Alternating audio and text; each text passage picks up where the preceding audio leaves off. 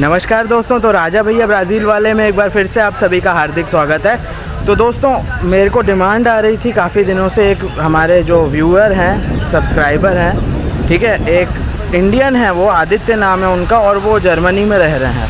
तो उनका ये था डिमांड, कई कई दिनों से आ रही थी, कई हफ्तों से, और मैं बना नहीं पाया कि राजा भैया, इंडिया वर्सेस ब्राज़ील पे आप वीडियो बनाओ, कंपैरिजन करके। ठीक है इंडिया वर्सेस ब्राज़ील तो आपको समझ में आ जाता है कि भाई यहाँ क्या है, वहाँ अपने इंडिया में क्या है है ना? क्या यहाँ नहीं है, वहाँ क्या नहीं है? तो ये सब ये सब डिस्कशन करना था, ये सब इस बारे में बात करते हुए वीडियो बनाना था। तो अभी आज मैं बना रहा हूँ वो ओके ऑन पब्लिक डिमांड तो दोस्तों, मैंने कुछ जनरल कंपैरिजन किया है, मैं सीरीज़ चालू कर रहा हूँ इंडिया वर्सेस ब्राज़ील तो जो भी डिफरेंसेस और भी मुझे दिखते जाएँगे फ्यूचर में, मैं उनके ऊपर भी वीडियो बनाता जाऊँगा। आज का जो वीडियो है, वो बहुत ही जनरल इन्फॉर्मेशन जनरल कंपैरिजन है और जनरल इन्फॉर्मेशन है। उसमें कुछ वो बहुत नहीं है बेसिक चीज़ें हैं। वो उसमें से बहुत सारी आपको पता भी होंगी। ठीक है तो आज हम जनरल कर रहे हैं, फिर उसके बाद और स्पेसिफिक भी करेंगे इंडिया वर्सेस ब्राज़ील आज का पहला है ये ये सेशन का ये जो वीडियो है। तो दोस्तों, सबसे बड़ा डिफरेंस है, मैंने मोबाइल में नोट कर लिया सब, ताकि छूटे ना कोई पॉइंट तो पहला जो डिफरेंस है, वो है ट्रेन ठीक है ट्रांसपोर्टेशन तो इंडिया में अगर आपको मुंबई से आपको दिल्ली जाना है या जम्मू जाना है तो आपको बहुत सस्ते दामों में ट्रेन मिल जाएगी। अगर आप एसी से भी जाते हैं तो भी आपका दो तीन हज़ार रुपये ही खर्च होगा ज़्यादा ठीक है लेकिन दोस्तों यहाँ अगर आपको ट्रैवल करना है तो यहाँ ट्रेन्स नहीं है। स्टेट के आपको अगर एक स्टेट से दूसरे स्टेट जाना है तो ट्रेन्स नहीं है। तो आपको या तो फ़्लाइट से जाना पड़ेगा महँगी है आपको पता ही है वो तो हर जगह महँगी है फ़्लाइट या तो फिर आपको आ, बस से जाना पड़ेगा। तो बस का तो बहुत ख़तरनाक है ट्रैवल मैं। जब रियो से कुर्दीबा गया था ना ये समझ लो 12 घंटे की जर्नी है। उसमें ही मेरी बैंड बज गई थी। ठीक है तो अब आप सोचो कि अगर आप रियो डी जनेरो से साउ लुइस जाओगे नॉर्थ में तो आपकी क्या हालत होगी? और अगर आप उतनी दूर जाओगे ना नॉर्थ ब्राज़ील, यहाँ रियो से तो आपको कम से कम तीन दिन लगेंगे बस में, और जो टिकट होगी ना, वो भी बहुत हाई होगी, बहुत हाई मतलब ये समझ लो कि आपकी टिकट ही होगी पाँच छः सौ रियाल की। तो ये समझ लो दस बारह हज़ार रुपये दस बारह हज़ार रुपये आपको सिर्फ़ नॉर्थ ब्राज़ील जाने के लग जाएँगे ठीक है, फिर वहाँ रहना, घूमना, फिर उसके बाद वापस आना। तो ये है। तो जनरली अगर बहुत दूर की बात है तो यहाँ पे फ़्लाइट से ट्रैवल किया जाता है। बस से जाते नहीं होंगे, बहुत बहुत लोग नहीं जाते होंगे मोस्टली फ़्लाइट ही आ जाती है फिर। तो ये एक कमी है, यहाँ पे ब्राज़ील जो है, वो इंडिया से भी ज़्यादा बड़ा है। तो यहाँ तो मैं कहता हूँ कि यहाँ बुलेट ट्रेन होनी चाहिए थी। तो ये है एक। इंडिया में फिर भी बुलेट ट्रेन नहीं है, कोई बात नहीं, ट्रेन है। तो आपको, अगर आपको दिल्ली से केरला भी जाना होगा तो भी आपको ट्रेन मिल जाएगी। तो उतनी सफ़र आप, अगर आप, देखो यार, दो दिन या तीन दिन गुजारना है तो ट्रेन ज़्यादा कंफर्टेबल है। एटलीस्ट उसमें भाई आप लेट के आराम से जा सकते हो, है ना? उसमें खाने पीने का सब और इजीली रहता है। पेंट्री कार होता है तो भाई खाना पीना का भी हो जाता है इशू नहीं है। अगर आप लेके नहीं जाओ तो बस में इतना सब फैसिलिटी नहीं देते फिर। ऑब्वियसली देते नहीं होंगे, या फिर वो वही है, रुकेगी, उतरोगे, वही सब चक्कर। तो वो ट्रेन ज़्यादा कंफर्टेबल है, अगर वो है तो यहाँ पे नहीं है वो तो। सबसे अच्छा हमें जो इंडियंस को फ़ायदा है, वो यही है कि आपको लॉन्ग जर्नी करनी हो तो ट्रेन अवेलेबल है और सस्ता सस्ता है ट्रांसपोर्टेशन वहाँ पर आप ट्रेन से जाओगे, सस्ता पड़ेगा। अभी हम आते हैं दूसरी बात पर कि यहाँ पे ब्राज़ील में फ्री लॉयर्स हैं, आपको कोई भी केस करना हो, सिविल केस करना हो, क्रिमिनल केस हो, कोई भी हो, सबके लिए फ्री लॉयर है कि कई लोगों ने मुझे कमेंट किया था वो फ्री लॉयर वाले वीडियो पे कि राजा भैया वो पब्लिक प्रोसिक्यूटर और वो क्या फ्री लॉयर वो यहाँ पे भी है। मैंने उसके बारे में सर्च किया था, वो सारे केसेस के लिए नहीं है, वहाँ का थोड़ा अलग है, वहाँ कोई भाई क्रिमिनल केस है या उसका है तो शायद उसी के लिए था। लेकिन अगर आपको जैसे डिफेमेशन का केस करना हो कोई सिविल सूट तो उसके लिए नहीं है, ठीक है? ये बात है। तो यहाँ पे यहाँ पे ऐसा नहीं, यहाँ पे आपको डिफेमेशन करना हो, चाहे क्रिमिनल करना हो सिविल करना हो मोरल डैमेजेस का केस करना हो, कुछ भी हो वर्क से रिलेटेड केस करना हो कम कंज्यूमर कोर्ट का कोई केस करना हो आपको कंज्यूमर अफेयर्स वाला कोई केस करना हो, सब आप फ्री का लॉयर पकड़ के कर सकते हैं, अगर आपकी सैलरी कम है। सबसे बेस्ट बात मुझे यहाँ लगी। तो यहाँ पे क्या लोग आराम से केस करने की बात करते हैं डायरेक्ट को ठीक है? तो ये मुझे सबसे अच्छी बात लगी। ये जो इतना इजीली एक्सेसिबल है ना, अगर आपको जस्टिस जो है, आपको जो कोर्ट है, आपको कानूनी कार्यवाही है, वो इतना इजीली एक्सेसिबल है, ये मुझे बहुत अच्छा लगा। ये इंडिया में अगर आ जाए तो बहुत बढ़िया होगा। एकदम ऐसे ही हो जाए, जैसे यहाँ पे है। तो बहुत मज़ा आ जाएगा फिर तो। ठीक है? अभी इंडिया में क्या होता है कि भाई पैसे भी खर्च होंगे, कौन अपने यहाँ ऐसा एटीट्यूड है कि भाई कोर्ट कचहरी के चक्कर में कौन पड़े? कितने हज़ारों लाखों रुपए भी खर्च होंगे। उसके बाद फिर आपको कई सालों तक वेट भी करना पड़ेगा। तो यहाँ ऐसा नहीं, यहाँ पे कैसा मोटिवेशन रहता है कि चलो पैसे तो नहीं लग रहे लगा दो। और जितने जल्दी हो सकेगा, उतना जल्दी वो हो जाएगा। मतलब इंडिया जितना टाइम नहीं लगता है यहाँ पे कोर्ट केसेस जो हैं, उतना दस दस, बीस बीस साल नहीं लगता। अगर इंडिया में कभी दस साल लगता होगा तो यहाँ तीन, चार साल में निपट जाता होगा, ये समझ लो आप। ओके कम है, कम कम है टाइम ठीक है तो जो अभी जो पेंशन है, वो क्या, कहाँ मिलती है? अगर आप गवर्नमेंट जॉब कर रहे हो रेलवेज़ में हो, भाई कोई आप उसमें हो, आप, जैसे आर्मी में हो तो आपको मिलेगी, ठीक है? तो अगर वैसे जॉब्स में अगर आप हो तो आपको पेंशन मिलेगी ओके लेकिन यहाँ पे ब्राज़ील में आपको गवर्नमेंट जॉब में प्राइवेट जॉब्स के बाद भी पेंशन मिलती है। वो कौन देता है? वो कंपनी नहीं देती, वो गवर्नमेंट देती है। तो मैं उसका आपको करके दिखाता हूँ कि जैसे यहाँ पे आर्मी वार्मी जो है और वो तो गवर्नमेंट जॉब्स हैं, उसमें तो है ही पेंशन, लेकिन उसके साथ प्राइवेट में भी है। तो उसका कैसा है, मैं आपको बताता हूँ। अगर इंडिया में अगर आप कोई शोरूम में काम कर रहे हो सेल्स में हो मार्केटिंग में हो, ठीक है, या फिर आप कोई कंपनी में हो, काम कर रहे हो तो भैया आप उसमें आगे बढ़ सकते हो। और अपना भी सैलरी बढ़ सकती है। लेकिन उसमें ऐसा नहीं होगा कि भाई आपने इतने साल काम कर लिया रिटायरमेंट के बाद आपको पेंशन देना स्टार्ट कर देगी और नहीं, नहीं है। आपको इंतज़ाम करना पड़ेगा आपको वो बेनिफिट जो हैं जैसे यहाँ पर भी मिलते हैं वो जैसे ग्रेचुटी और वो सब है ना वैसे कुछ बेनिफिट्स यहाँ पे भी मिलते होंगे। लेकिन आपको पेंशन नहीं मिलती। यहाँ पे कैसा होता है भाई आपकी इतने साल सर्विस हो गई तो वो जो आपको मैंने काटेरा बताया था ना वो बुक छोटी सी उसका वीडियो की लिंक भी मैं डिस्क्रिप्शन में डाल दे रहा हूँ। तो वो जो वो जो बुक है, उसमें आपका पूरा हिस्ट्री रहती है रिकॉर्ड रहता है कि आपने कितने साल काम किया, कहाँ कहाँ काम किया, किस पोजीशन पे काम किया, क्या सैलरी थी।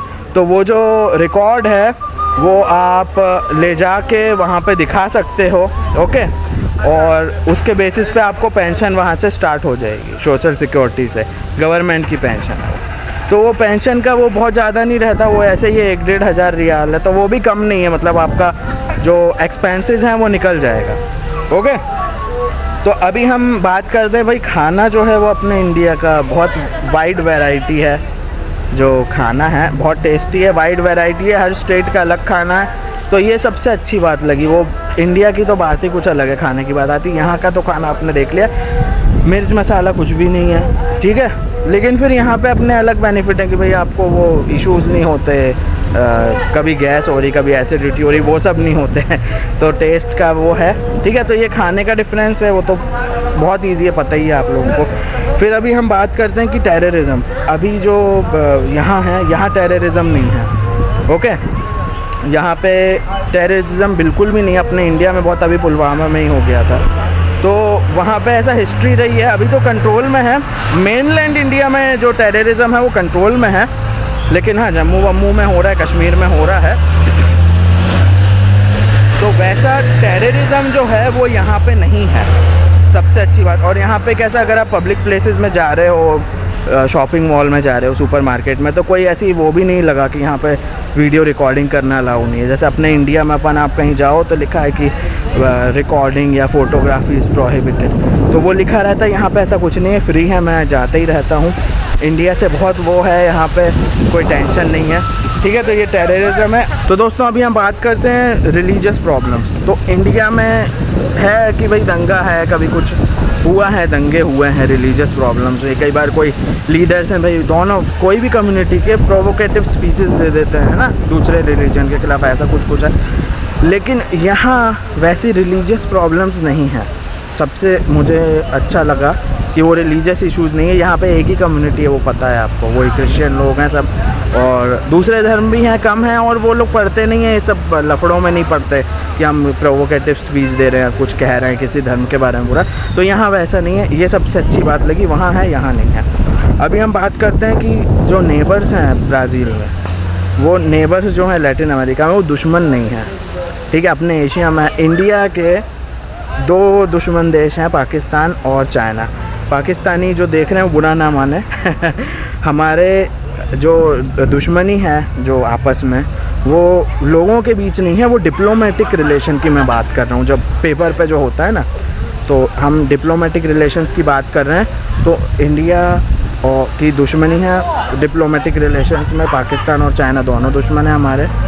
वैसा यहाँ पे नहीं है। तो वो तो हमेशा से सबको पता है इश्यूज़ नहीं है वो। ठीक है? उसके बाद जो बीचेज़ हैं यहाँ पे, वो ज़्यादा अच्छी हैं।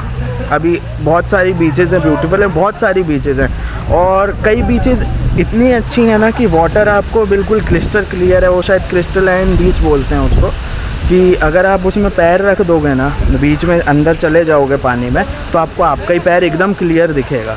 ठीक है तो वाटर एकदम क्लियर है, ऐसा बहुत सारी बीचेज़ हैं, यहाँ पर रियो में भी हैं। मैं कभी लेकर जाऊँगा आपको ओके तो ये है बीचेस का एक है डिफरेंस थोड़ा।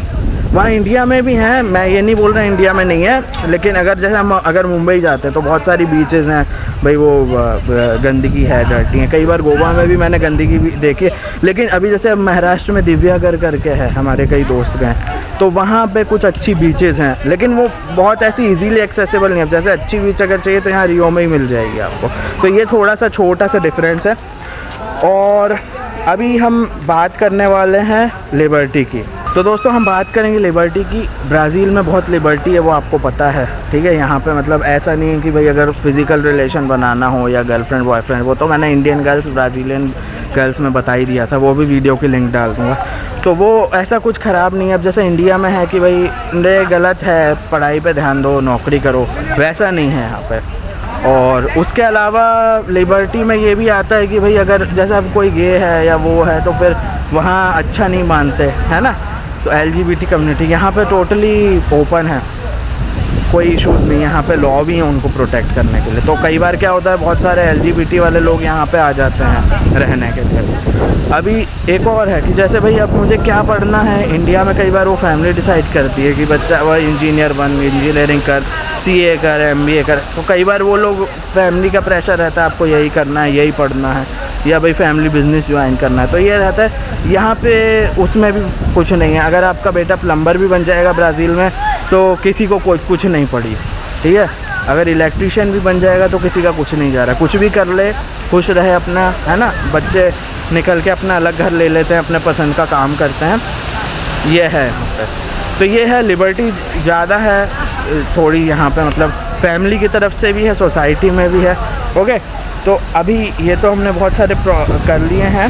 अभी एक और जो डिफरेंस है, वो लास्ट पॉइंट जो है, वो है बहुत फ्रेंडली लोग हैं एज़ कंपेयर टू इंडिया मैं इंडिया की बुराई नहीं कर रहा हूँ, मैं आपको इन जनरल बता रहा हूँ कि जैसे अगर आप इंडिया में किसी बैंक में जाते हो या कोई गवर्नमेंट ऑफ़िस में जाते हो तो कई बार ऐसा रहता है कि भाई वो बैंक वाला आपको भगा देता है कि अरे जाओ टाइम नहीं है, अभी बहुत काम है आप कल आओ अगले हफ़्ते आओ, पहले क्यों नहीं आए, अभी काम है। तो कई बार ऐसा कर देते हैं, भगा देते हैं, काम नहीं होता। ठीक है? मेरा तो मुझे एक्सपीरियंस रहा है। हो सकता है आपको बहुत अच्छा एक्सपीरियंस रहा हो गवर्नमेंट वालों से। कमेंट करके बताओ बैंक में गवर्नमेंट वालों से अच्छे ही एक्सपीरियंस रहे हैं कि आप लोगों के? मेरे तो बहुत बार ख़राब रहे हैं और मैंने बजाई भी है लोगों के फिर तो मुझे मालूम है। तो इसीलिए मैं अपने एक्सपीरियंस के बेस पे आपका हो सकता है बहुत अच्छा एक्सपीरियंस रहा गवर्नमेंट ऑफ़िस में बैंक्स में। तो कई बार ऐसा हो जाता है। तो जो मैंने एक्सपीरियंस किया उसके बेसिस पे बता रहा हूँ। लेकिन जो यहाँ है, ब्राज़ील है, यहाँ पे मोस्टली सब लोग बिल्कुल जो है, काल दिखे मुझे कि भाई बैंक में गए तो भी अच्छे से ट्रीट किया बात करी और ये जल्दबाजी, घाई, और फिर कल आओ, ये करो, वो करो, वो नहीं हुआ। अभी जैसे मैंने बताया था, कायशा बैंक में मैं गया था तो थोड़ा ख़राब एक्सपीरियंस हुआ था। वो वीडियो भी मैं डाल देना हूँ लिंक डिस्क्रिप्शन में ओके वो देख लेना डिस्क्रिप्शन में सारे वीडियोस जो इससे कनेक्टेड हुए हैं, वो डाल दूँगा। तो वो एक आपको कैशा बैंक का थोड़ा हुआ था जो एक्सपीरियंस तो ऐसा हर जगह नहीं होता, वो एक जगह हुआ, वो हो सकता है वो उनको कुछ ऑर्डर दिया हों लड़की को, कि भाई अकाउंट वालों को नहीं लाएँ। तो ऐसा कुछ है मतलब मोस्टली जो भी मैंने यहाँ पे देखा है, मैं गवर्नमेंट वालों के यहाँ गया हूँ कोर्ट के। मैं कोर्ट में गया हूँ, है ना? और जो पब्लिक प्रोसिक्यूटर का ऑफ़िस है, उसके यहाँ गया हूँ। तो जो भी एक्सपीरियंस हुए हैं मतलब इन जनरल पब्लिक के साथ जो मेरे यहाँ पर जो हुआ है, बातचीत हुई है और एक्सपीरियंस रहा है, वो अच्छा बहुत फ्रेंडली रहा है। कि कोई भी यहाँ पे आपके पहचान का होगा जो ब्राज़ील में रह रहा है इंडियन हो, पाकिस्तानी हो, बांग्लादेश हो, कोई भी हो, आप उनसे पूछ लें कि लोग कैसे हैं यहाँ पे, वो भी आपको एक बार बता हैं फ्रेंडली लोग हैं, वो पता है। तो दोस्तों, यही था। मैंने ये नहीं कहा इंडिया के लोग फ्रेंडली नहीं इंडिया के भी फ्रेंडली हैं, लेकिन कई बार आप अगर कहीं जाते हो, किसी से झगड़ा हो गया, ऑटो वाले से ही कुछ हो गया बहस, है ना? कभी कुछ हो गया भाई, है ना? बस में हो गया कभी। कई बार अभी जैसे आप फ़िल्म देखने जाते हो, कूपन ऊपन दे दिया उल्टा सीधा, मेरी वहाँ पे भी बहस हो गई थी। ठीक है तो मैं एक्चुअली क्या है ना इनजस्टिस टॉलरेट नहीं करता हूँ बिल्कुल तो मेरी कई जगह हो ही जाती थी, मैं टेंशन नहीं लेता, मैं सीधे चढ़ जाता हूँ। तो आप लोगों का हो सकता है बहुत अच्छा रहा हो एक्सपीरियंस मैंने जो आपको पॉइंट्स बताए हैं डिफरेंसेस के, वो मैंने अपने एक्सपीरियंस के बेसिस पे बताए हैं और वो सच हैं, पूरे। ठीक है? हो सकता है आपका कुछ डिफरेंट भी एक्सपीरियंस रहा हो। और जो ब्राज़ील के बारे में बातें मैंने बताई हैं, जो, वो तो बिल्कुल करेक्ट है जेनुइन है फैक्ट्स हैं। आप मुझे कमेंट करके बताएँ आपको वीडियो कैसा लगा और ये वाली सीरीज़ भी कंटिन्यू होगी जब मुझे जो होगा पता चलता जाएगा कुछ। डिफरेंस ऐसा लगेगा तो मैं करके वीडियो बना दूँगा। आप मुझे कमेंट करके बताएँ ये वीडियो कैसा लगा। और वीडियो देखने के लिए बहुत बहुत धन्यवाद। जय हिंद, भारत माता की जय, वंदे मातरम। सब्सक्राइब कीजिए राजा भैया ब्राज़ील वाले को और साथ में साइड में जो बेल आइकॉन दिया है, उसे भी दबा दीजिए ताकि हमारे चैनल की सारी नोटिफिकेशंस आपको सबसे पहले पहुँचे।